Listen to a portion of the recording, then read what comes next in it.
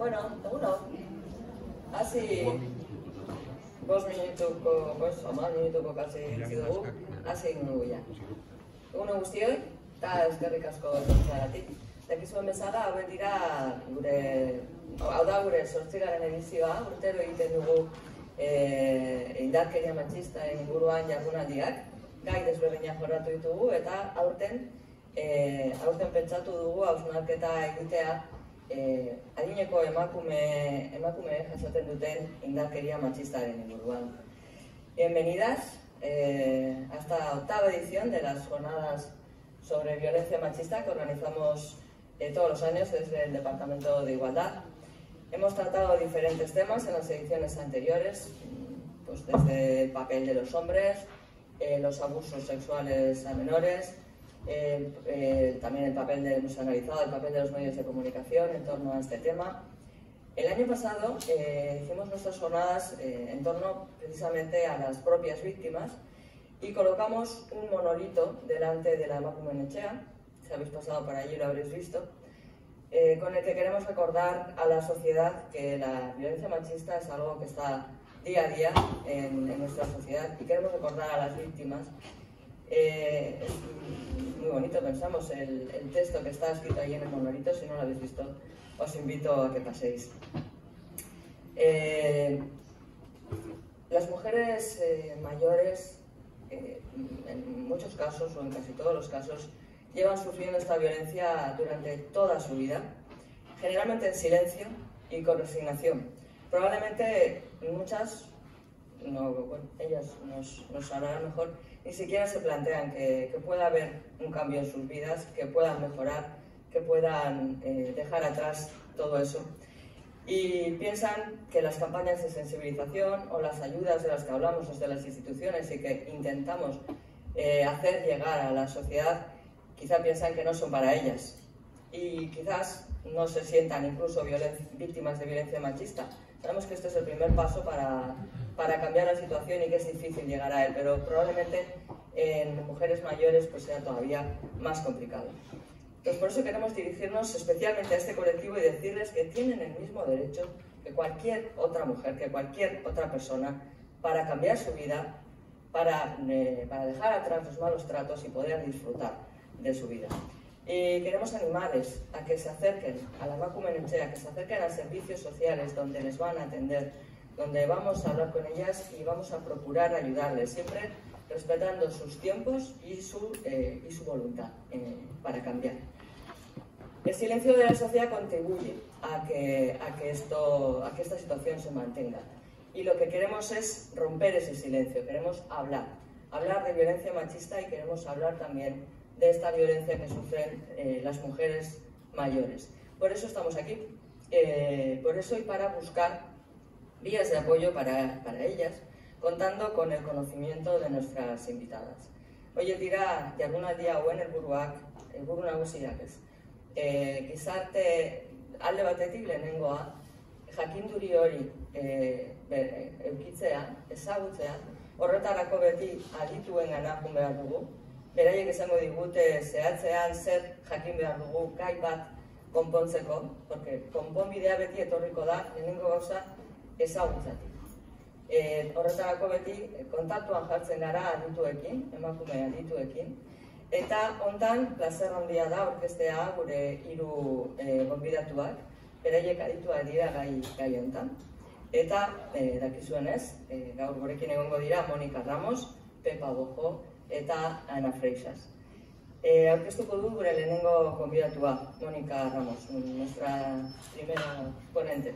Eh, lo primero quiero dar las gracias a las tres por participar, por aceptar nuestra invitación y, y bueno, en, en, el caso de Mónica y Ana especialmente porque han tenido que desplazarse para venir a esta Zaraz, así que muchísimas gracias por el esfuerzo extra que habéis hecho.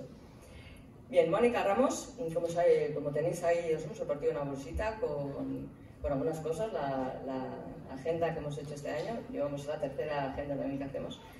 Eh, y ahí tenéis también el programa. Bueno, su ponencia se titula Visibilizar la violencia de género contra las mujeres mayores, una realidad silenciada. Ella es antropóloga feminista, especializada en envejecimiento y género, doctora en antropología social por la Universidad Autónoma de Madrid y actualmente es coordinadora técnica de UNATE, que es la Universidad Permanente, está en Cantabria, y de la Fundación Patronato Europeo de Mayores.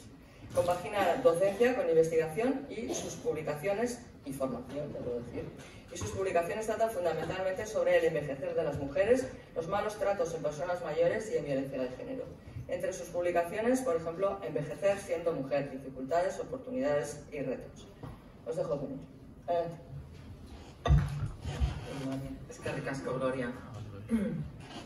Bueno, muchísimas gracias a, bueno, al Ayuntamiento de Zarauz que me haya invitado para estar en estas jornadas hoy aquí y sobre todo que decida poner el foco en las mujeres mayores eh, en el marco del 25N, porque eh, entiendo que siempre nos asusta mucho que la violencia siga siendo estructural y que le afecta a las chicas jóvenes, pero nos olvidamos de que quienes más lo llevan sufriendo desde hace mucho tiempo, como ha dicho Gloria, la concejala, son precisamente las mujeres mayores. Entonces yo os felicito que hayáis decidido este año poner la mirada sobre, sobre las mujeres que tienen más edad. Voy a intentar en la medida de lo posible, eh, prometo ajustarme a la hora, voy a ir un poco de prisa, pero yo creo que, es interesante reflexionar sobre muchas cosas y ya que tengo la oportunidad, pues, y, sobre todo la suerte de que después Pepa va a hablar muy bien de cómo es la intervención con mujeres y luego Ana Frexas, que revolucionará seguro vuestras cabezas, pues yo es como que voy a dar todo un marco para entender ¿no? de qué estamos hablando cuando hablamos de violencia de género y especialmente mujeres mayores. Así que voy a hablar primero de eso, de qué estamos hablando cuando hablamos de violencia de género, un poquito. ¿Qué pasa cuando hemos hecho revisión documental de las investigaciones que hay sobre violencia de género centrada en mujeres mayores, que hay una enorme escasez y, y falta de datos? ¿Cuáles son algunas de las características que nos encontramos cuando hablamos con mujeres y nos cuentan sus relatos de vida cuando han sufrido violencia? Insistiendo en que no existe un perfil de mujer mayor que haya sufrido malos tratos en relaciones de pareja, pero sí que existen una serie de características o dimensiones socioculturales que hacen que nos permita entender, sobre todo por qué ha estado tan invisibilizada esa violencia y por qué a las mujeres mayores les ha costado tanto y les sigue costando tanto salir de esas relaciones. También una serie, unos pocos, hay muchos, pero unos pocos factores de riesgo que nos ayudan a entender todavía cómo es más compleja y más grave la violencia que sufren las mujeres cuando son mayores en, relaciones de pareja en las que sufren malos tratos. Los factores que han invisibilizado esta violencia y que todavía la siguen invisibilizando, yo creo que es una de las cosas más importantes que tenemos que poner sobre la mesa para diseñar buenos proyectos de intervención y de atención a mujeres mayores que sufren violencia. También qué factores contribuyen a que las mujeres mayores tomen la decisión de salir o puedan sentirse capaces de salir de esas relaciones. Y como luego Pepa hablará precisamente de intervención con mujeres, solamente diré algunas pinceladas de eh, algunos estudios que hemos hecho de, con profesionales que trabajan en igualdad, en violencia, eh, judicatura, etcétera, y que nos han dicho cuáles serán las barreras y cuáles pueden ser las, las fortalezas para que las mujeres mayores puedan salir de estas relaciones. Bueno, pues este es un poco el panorama, el índice de todo lo que quiero tratar. En cuanto, en primer lugar, de qué hablamos cuando hablamos de violencia de género, yo me voy a centrar en este caso solo y exclusivamente en la violencia que se sufre en la relación de pareja o expareja. No voy a hablar de otras violencias de género que sufrimos las mujeres y fundamentalmente para poder situar ahí en la violencia y para poder comparar con datos que tenemos tanto nacionales como internacionales. Pero lo que sí es importante es entender que esta violencia se produce en una sociedad patriarcal o machista que mantiene relaciones de género, que es un concepto clave y que tenemos que entender, que perpetúa la superioridad de los hombres sobre las mujeres y que asigna diferentes roles, diferentes papeles, diferentes patrones sobre lo que significa el ser un hombre o ser una mujer, por lo tanto, que establece diferentes roles en función del género, del sexo. Por ello, la explicación de la violencia de género en la relación de pareja tiene que ver con la estructura de la sociedad. Y es importante que entendamos que los malos tratos no son siempre agresiones físicas precisamente porque el objetivo no es necesariamente causar daño, sino fundamentalmente el control y el sometimiento de las mujeres sobre las que se ejerce la violencia. Por eso la violencia en las relaciones de pareja no son casos aislados e inconexos, sino que tienen que ver con toda la socialización diferencial que fomente y legitima las desigualdades entre hombres y mujeres.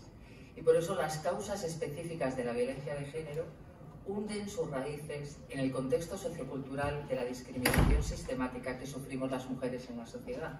Y cualquier estrategia para poder erradicar la violencia que se da en las relaciones de pareja pasa por cuestionar el sistema machista en el que vivimos.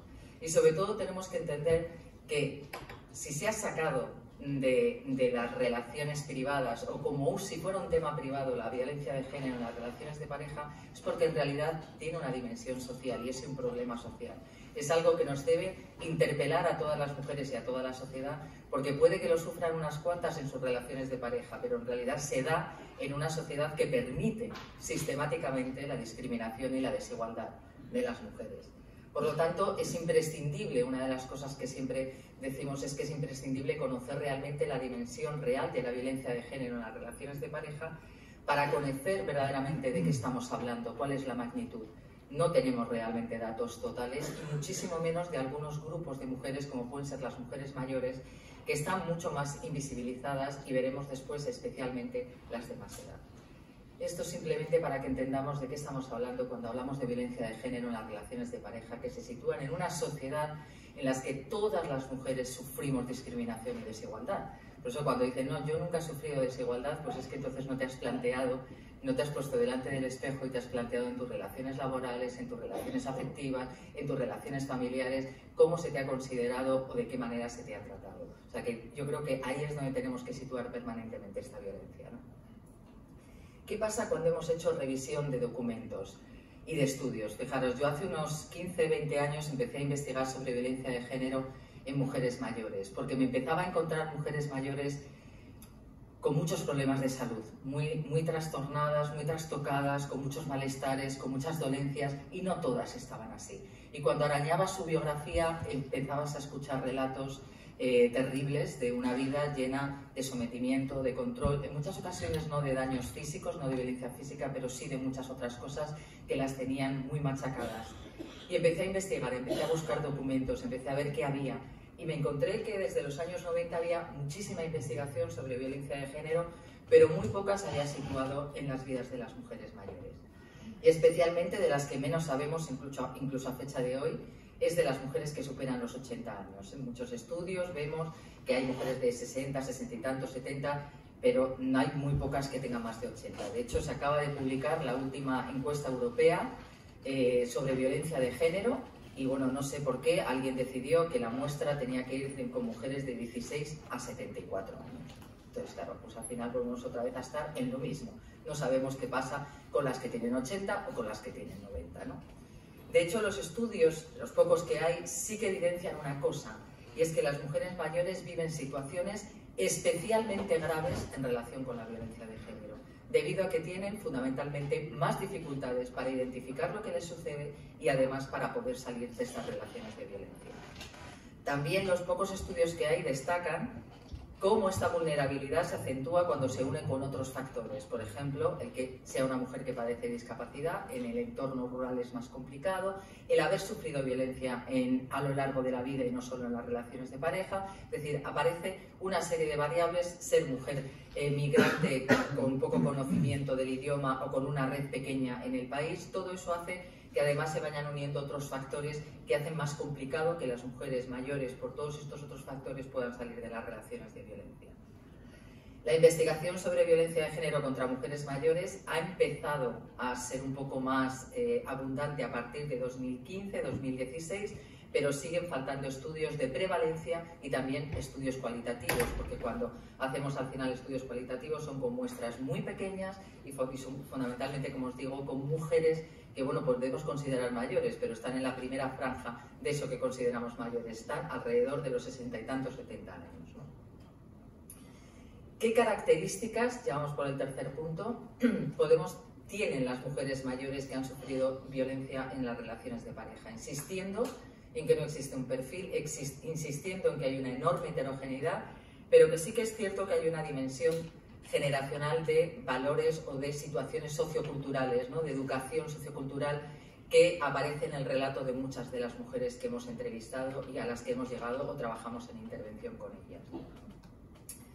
Algunas de estas características son, por ejemplo, algunas de estas mujeres se casaron muy jóvenes y con muy pocas o ninguna experiencia previa de relaciones sexoafectivas bajo la idea absolutamente exaltada del amor romántico. Es decir, si ahora cuestionamos el amor romántico, pues imaginaros mujeres que ahora tienen ochenta y tantos, noventa años, cómo crecieron.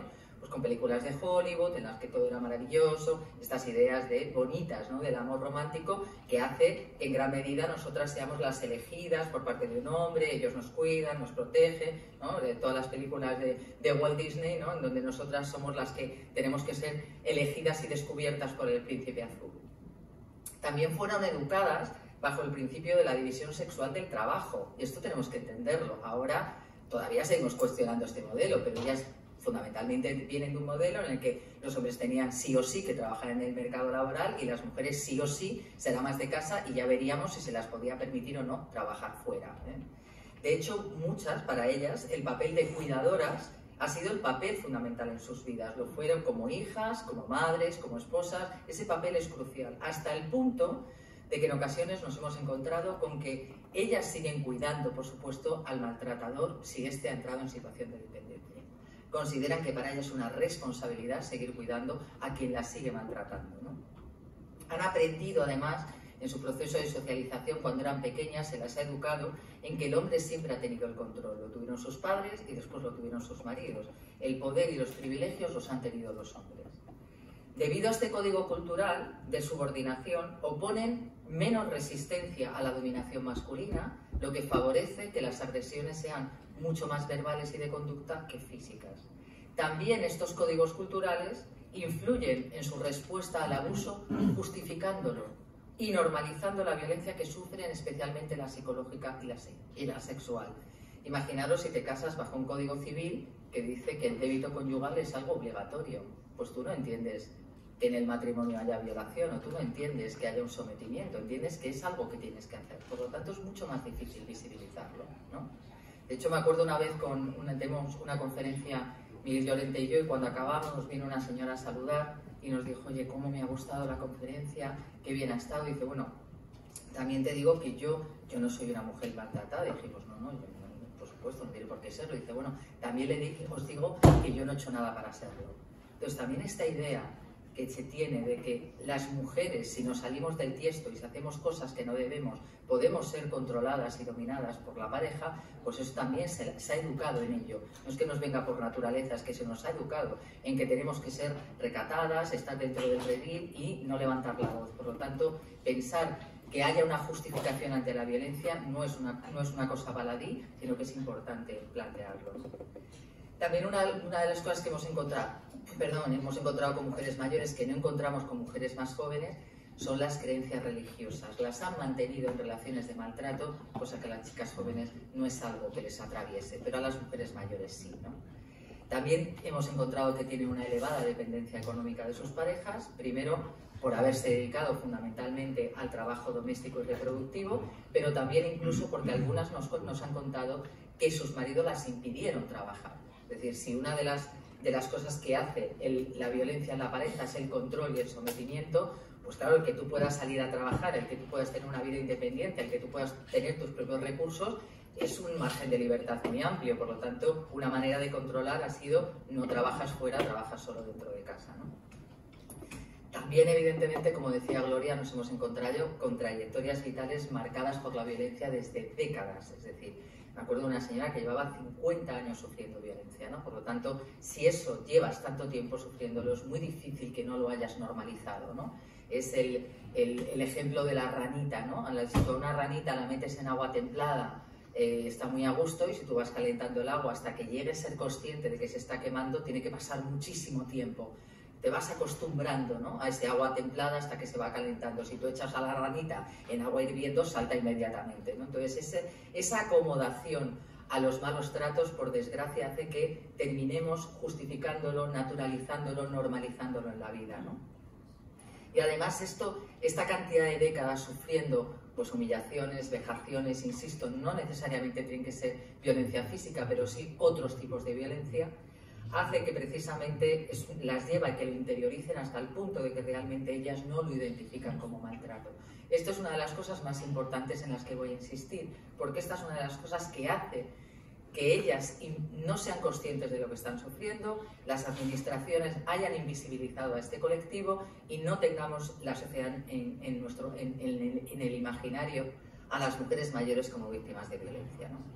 También esta situación de llevar décadas las ha llevado a generar sentimientos de vergüenza, sentimientos de culpa, de miedo a ser juzgadas. ¿no? Esta idea de yo ahora con 75 años, con 80 años voy a decir que me quiero separar, voy a denunciar, ¿qué van a pensar de mí? Primero, ¿qué van a pensar de mí de ¿y por qué no lo has hecho antes? ¿no? ¿Por qué llevas tanto tiempo aguantando? Estas cosas que te dice la gente que no entiende cómo es el ciclo de la violencia.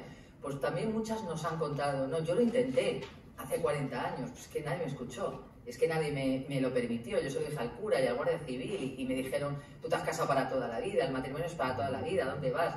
Y ahora con 80 años, pues os cuento una anécdota que me contó un China hace poco, que me dijo que después de que convenció a una señora de 82 años para que denunciara todo lo que es ese trámite, que si lo conocéis es complejo y, y difícil, cuando llegó al juez, el juez le dijo, pues si usted lleva 60 años sufriendo esto, a ver si esperaba que su marido se muriera, ya total, para la edad que tiene, ¿qué más quiere? ¿no? Entonces, esto hace, ¿no? lo cuento para que seamos conscientes de lo difícil a veces que es toda esta situación y de lo el, poco derecho que creemos que tiene una mujer de 82 años a poder vivir tranquila el final de su vida.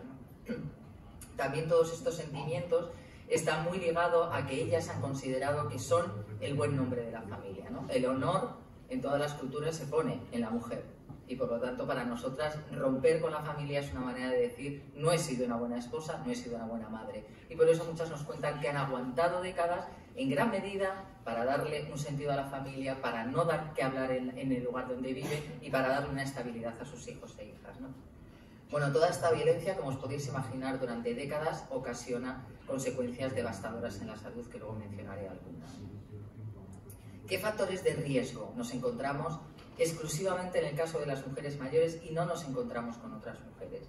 Unos factores de riesgo que hacen que son las mujeres de las que menos sabemos, las que más han aguantado en relaciones de violencia y, por supuesto, las que menos denuncian.